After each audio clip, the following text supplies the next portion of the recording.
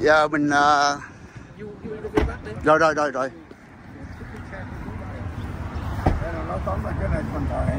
Hơn hơn đúng phải phải rồi. Phải phải phải tốn nhiều tiền lắm ok bác hậu mời bác qua đây đứng cho con. Phải phải phải siêu phải chưa Rồi. điều chỉnh lại trong vấn đề nhiều vấn đề. à, dạ bác cho con cảm nghĩ à, vừa rồi bác đi à, trải nghiệm xe rồi à, bác cho con cái cảm nghĩ à, à, xe như thế nào bác à, so sánh với những chiếc bác đã chạy qua?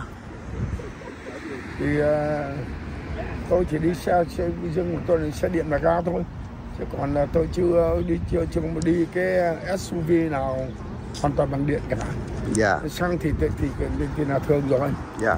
Thì riêng cái này đó thì là có thể gọi là, là nó có rất nhiều. Những cái mà người đi xe điện này cũng như là các anh Peter thì anh đi lái thì anh biết cắt nghĩa rồi. Nó có nhiều cái function lắm.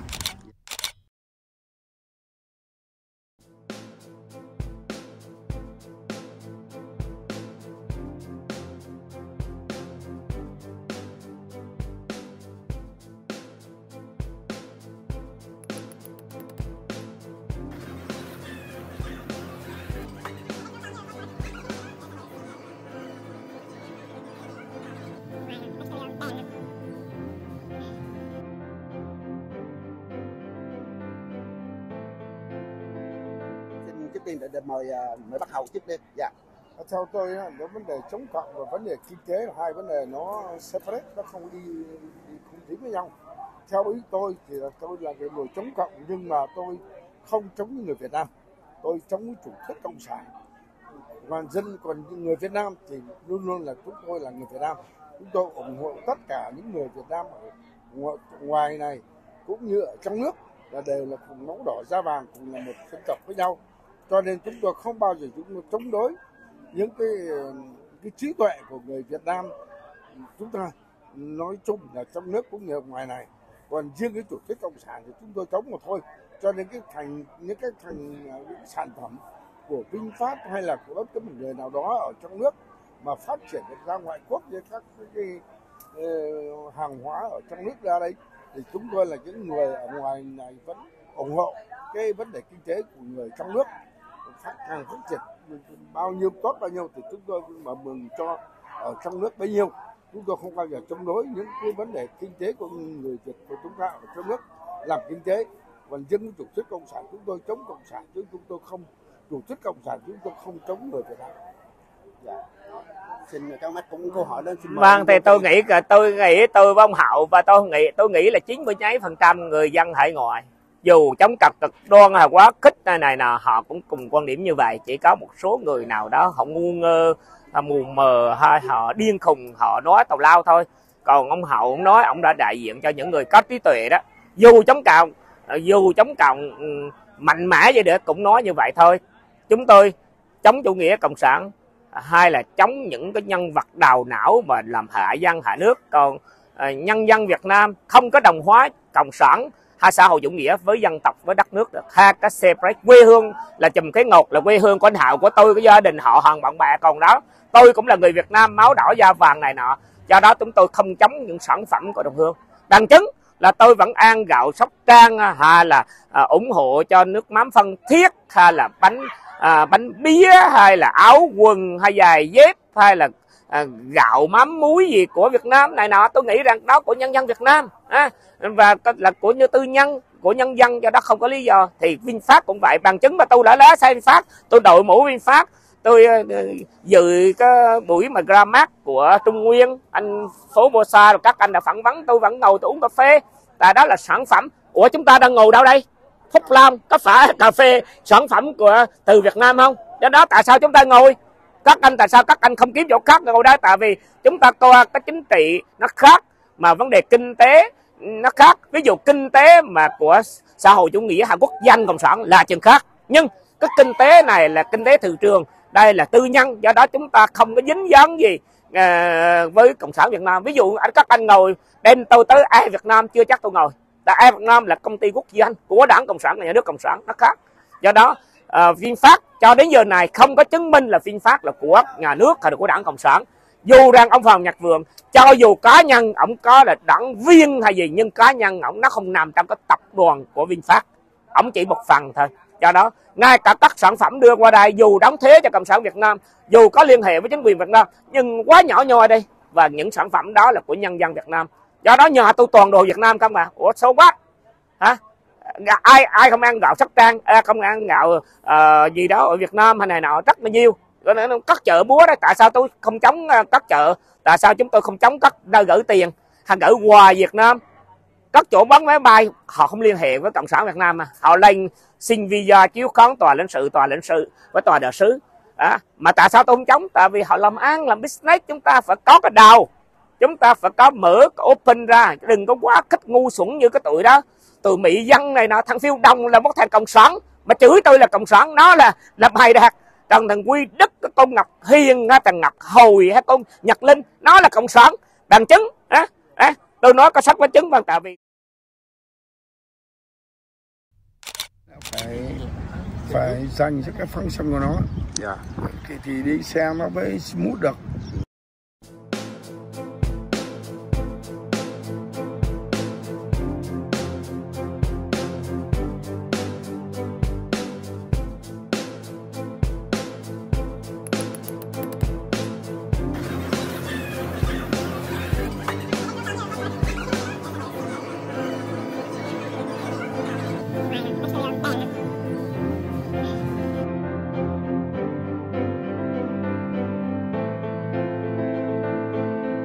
thì nhưng mà nếu mà so với những xe uh, anh ấy Peter bây giờ anh ấy nói rằng anh ấy đã từng xài Tesla rồi. Dạ. Thì nếu mà so với Tesla thì cái này vẫn technology của này nó chưa bằng Tesla được. Dạ. Thì cũng đúng thôi là với cái xe này Tesla nó ra trước và nó đắt tiền hơn.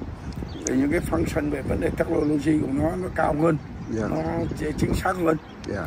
Thì uh, theo ý tôi đó thì cái xe này trên nguyên tắc thì là là vẫn là xe đi được nhưng mà phải trải qua một thời gian.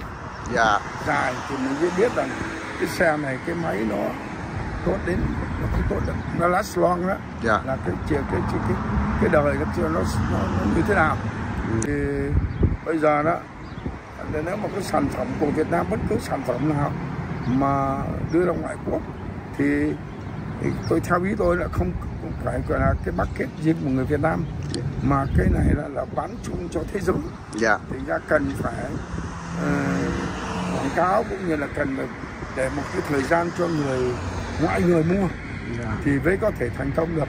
Dạ. Chứ còn nếu mà mình chú trọng đến cho người Việt Nam không à, thì tôi thấy là chưa chắc là đã thành công. Dạ. Mà cái số loại xe này ra xe một cái xe là phải phải bán được nhiều thì mới có lợi dạ. Còn mình set up một cái cái cái factory rồi nó sản xuất rồi. Tất cả nó cũng nhiều tiền lắm. Theo Dạ. yeah. tôi là mình như thế. Ông, tôi nghe thấy ông, ông phạm nhật vượng ông đã tiêu khoảng 2 tỷ đô la rồi. Dạ. Nhưng mà cái kết quả thì theo như buôn bán như thiệu này mà 2 tỷ đô la rồi. Thì nếu mà ra một cái cái vấn đề xe cộ mà vấn đề cái factory về xe cộ đó thì 2 tỷ đô la thực ra nó cũng không phải là lớn lắm. Dạ. Nếu vấn đề xe cộ người ta cũng bỏ ra khoảng mấy chục tỷ đó dạ. Thì những cái thành công như là ừ, cái Kia hay là Hyundai là họ trải ra như tôi ta hồi xưa nó một thời gian quá dài. Dạ. Và bây giờ Mỹ bắt đầu cũng làm xe điện nhiều nhưng mà chính ra những người mà mà dùng bây giờ đó, thì thường hay người ta hay mua Toyota nhiều hơn. Dạ. Thành ra bây giờ xe của Việt Nam ấy, mà muốn cạnh tranh với Toyota thì mình phải có cái gì thứ nhất giá cả thì tôi thấy là giá cả cũng là, là, là trung bình rồi dạ. không có gì là cao lắm.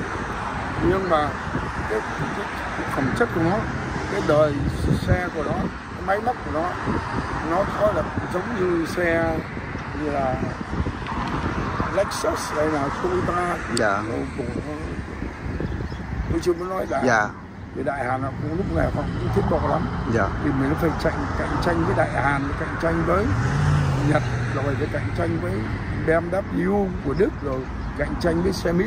Dạ. lúc này xe mỹ người ta làm bắt đầu làm xe lý cũng nhiều. Dạ. Thành ra để tôi có ý kiến là là nếu mà muốn thành công bên người Việt Nam mình muốn thành công trong cái vấn đề ờ, xe cộ này là cái vấn đề là cái thị trường mà thành công thì là rất là, là, là, là khâm khá. Dạ.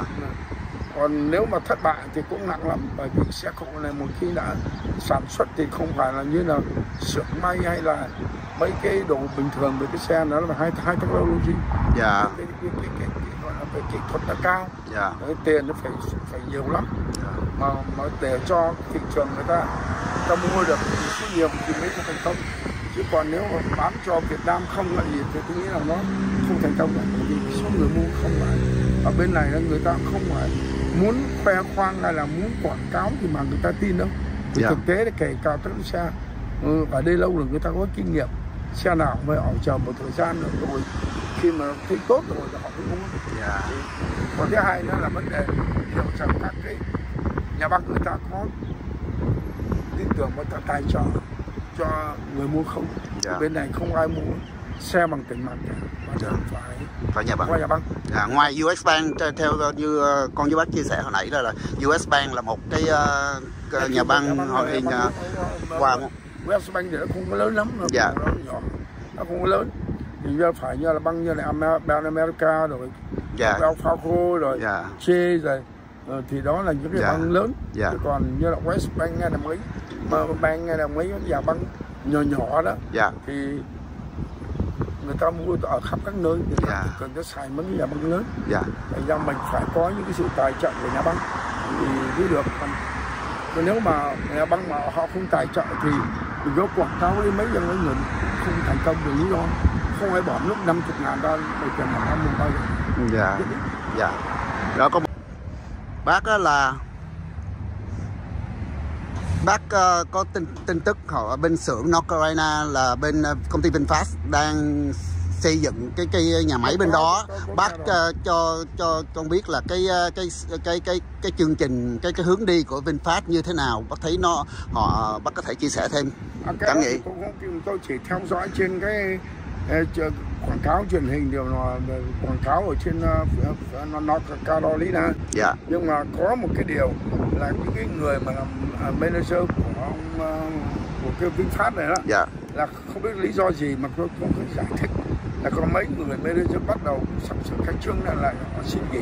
Dạ. Thì cho đến giờ phút này tôi chưa thấy ờ, bên VinFast người ta ờ, căn nghĩa cái đó dạ Lý cái cái cái chi tiết mình không nắm được hả bác ha? được. dạ. Còn bây giờ Carol ở Carolina thì thường điều ở vùng trên đó thì, thì, thì tôi thấy là cái, cái tôi không có ý kiến về vấn đề. Dạ. Họ muốn đặt máy ở đâu nhà máy đâu cũng được nhưng mà thường thường miền Bắc thì cái ờ, cái, cái vấn đề đất cát nó rẻ hơn. À bên đó cái cái real estate nó nó, nó, estate nó nó rẻ rẻ hơn Cali hả bác ha? rẻ hơn mà mà cái cái lương nhân công nó cũng hạ hơn ở bên Cali tại sao không phải là Arizona mà là, là hoặc là Texas mà là North Carolina thưa bác? Tôi- tôi- cái đó thì tôi không thể căn nghĩa được bởi vì lý do là phần đông các cái xưởng xe nó nằm ở phía miền Bắc. À đúng rồi Michigan này kia Ohio. Ở đó. Đó là miền Bắc hơn. Thì tôi thấy thường thường các nhà máy nó nằm mấy mấy cái tiểu bang. Cái vấn đề nền kinh tế nó không là phát triển mạnh lắm. Dạ. Thành ra họ mở mấy cái xưởng ở mấy miền Bắc Dạ. để cho họ xài nhân công ở trên đó có thể có thể như thế cho à có công ăn việc làm. Dạ. Còn những cái nơi như là ờ, Las Vegas, Nevada hay là Cali thì tôi nghĩ là vì ở đây thì người ta không, không chưa thấy ai một mà xưởng ô tô ở đây ở, ở Dạ. Cali. Cả dạ. Còn ở miền Bắc. Dạ một cái cuối cho bác có thể ờ, chắc ờ, các bạn trẻ mà làm ở cái xưởng xe đó là những người họ chăm chỉ họ làm việc đó rồi bác có với lại những người kỹ sư những người quản lý họ làm ra cái sản phẩm mà chạy trên nước Mỹ như vậy đó thì bác có lời gì bác chia sẻ không bác? Bác học cái đó thì tôi không có đi sâu vấn đề thì nhau tôi cũng không có ý kiến về vấn đề đó nhiều. Dạ. Nhưng mà phải nói rằng bên này đó là lương là lương. Dạ.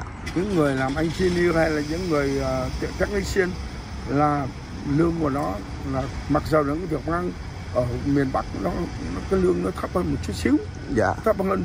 Nhưng mà nước Mỹ này nó vẫn có một con số chung. Bây giờ là lương là, là mười ở đây là 16 rưỡi dạ đúng nó, rồi. là, nó là labor đó. Dạ cái ờ, cái ờ, lương tối thiểu đó. Lô lô lô đó. Dạ. lô lô cost rồi. Dạ. Cái giá thấp nhất. Dạ. Nên là họ đã 16 rưỡi rồi. Dạ. Cái điều ở cái đồng ngang kia thì nhờ tôi nghĩ cái vấn đề này thì ờ, theo cái cái tiêu chuẩn của lao động của Mỹ thôi. Dạ. Chứ anh không thể nào mà anh trả khác hơn được thấp hơn hoặc là ờ, là nó có một cái dạ, nó có một cái căn bản regulation nó phải theo. Regulation, Regulation nó phải theo. vì cái bên này đó là phải xin nhớ rằng bên này nó có CIO nó FM nghiệp đoàn. Dạ mấy nghiệp Thành đoàn. thường thường những người những cái hãng xưởng ô tô hay là cái xưởng lớn đó dạ. là nó nằm trong union mà trong union union đó thì xin thưa với anh rằng lương nó cao lắm dạ cái cái start của nó với người là lao động người thấp lương gọi là, là cái salary của một người lao công đó Dạ. một người thấp là, là người nhân công đó dạ cao Dạ. thì thường thường tất cả những cái company này là nó vào union. Dạ. Mà union đó là không có giá 10 lạng mà như là mà- nó mà- phải có cái đâu. theo những cái quy tắc của union hả bác ha? Union union mà phải phải là bấm vào là membership. Dạ. Mà đuổi cũng cũng khó. Dạ. Cho nên mà, mà ở xưởng đây đó là cái điều mà không ai để ý. Là dạ cái union nó ở trong union hết. Dạ. Mà cái union đó là cái lương nó cao. Mà dạ đuổi này rất khó. Dạ đúng Đó. rồi. là cái vấn đề đó dạ các phò- người mà làm business phải hiểu cái điều đó dạ nếu Rồi. không thì là sẽ gặp cái trở ngại Rồi, một lần nữa con cảm ơn bác ờ, bác đã ờ, chia sẻ với ờ, phố Việt Media hôm nay. Con cũng ờ, gặp lại bác con vui lắm tình cờ thôi. Nói chung là hôm nay là bác giúp con trải nghiệm thêm với xe cho nên con ờ, rất là quý thời gian bác ờ, ông bởi vì thế anh thì tôi không có giờ bảo tuyên truyền gì về anh là với là học với con trai của tôi dạ. Rằng bây giờ trở thành nó xấu số nó là của đã mất rồi. Dạ. Thành ra tôi không ngờ là anh này với nó là là mà cùng học với nhau ở đại học. Và bạn thân. Bạn thân nữa. Dạ. mà từ nhỏ đến đến bây giờ.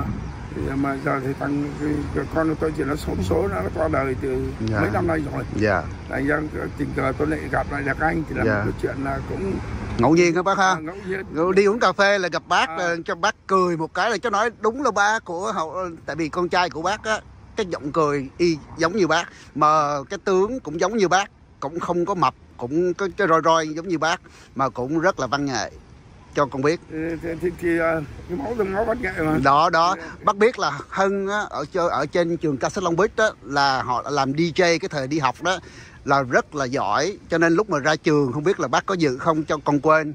Nguyên gia đình bác là bữa đó là có dự luôn cho nên à, con rất là quý mà những cái trân trọng như những cái kỷ niệm này con tôi đó nó bảy đứa mà đâu phải một đứa đâu. Dạ. Thành ra bây giờ mình nói mắt tôi thì đó.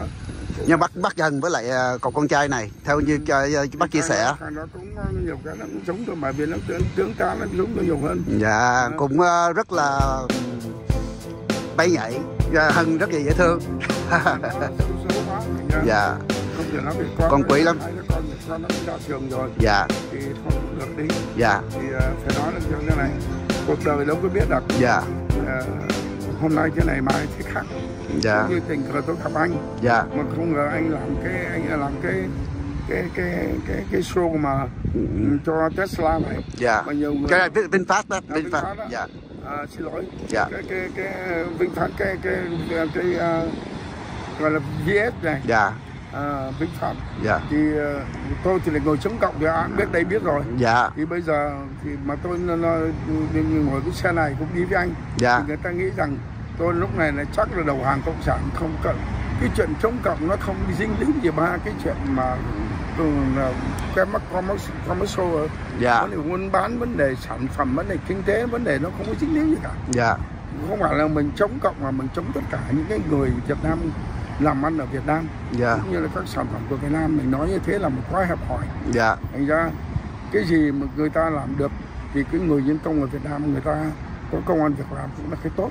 Dạ. Cho cho mình không giúp được nhiều thì mình cũng giúp những cái đó cho người ta Công việc. an việc công việc Dạ. công an việc làm.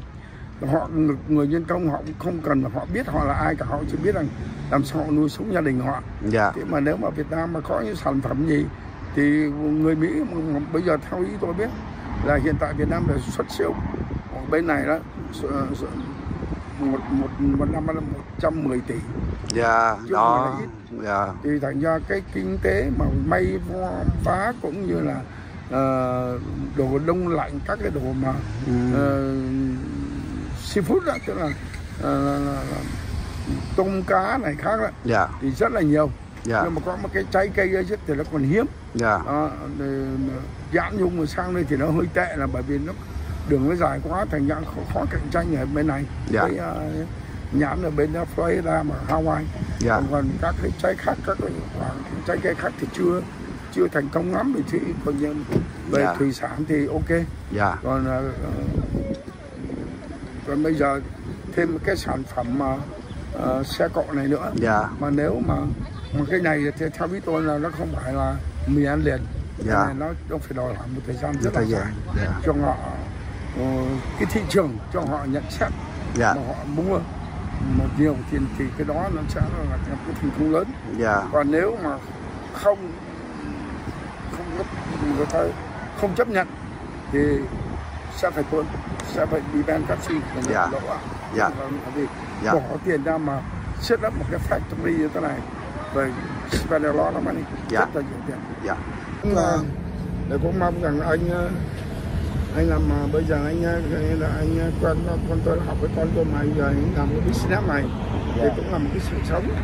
Thì nếu mà anh mà buôn bán với họ được à con chào con xin lỗi. Anh buôn bán được với họ mà ờ, được thì mà anh thành công thì tôi cũng mừng cho anh và gia đình anh dạ vì vấn đề buôn bán anh không cần mà về chính trị chính em gì cả mà Dạ. nó chỉ là buôn bán thôi dạ mà nếu mà cái sản phẩm này nó tốt mà nó người ta chấp nhận nhưng mà cũng theo ý tôi là anh cũng phải tìm cái việc khác là làm thêm chứ không con là engineer con làm hãng À, đúng cái rồi. này con làm cái Anh cái đam mê con làm part-time, con phải part-time. làm cái này con làm đam mê làm chơi Làm chơi. và đồng thời trong tương lai con retire con thích youtube con làm chia sẻ về à, cả những cái gì mà mình thích mình chia sẻ với lại cho những người mà mình à, yêu quý. Dạ. Cái đó là tốt. Dạ Anh, con ờ, vẫn làm engineer thì ờ, con đưa bác thẻ bây giờ con không, biết là không, cho không, con không, làm. không, không. dạ. tôi tin anh với anh học với con tôi mà. Dạ đó đó thì con làm làm đồ nhà thương. Con cũng có làm con sẽ làm cái clip cho các bạn biết thêm là Michael là ai cho các bạn biết thêm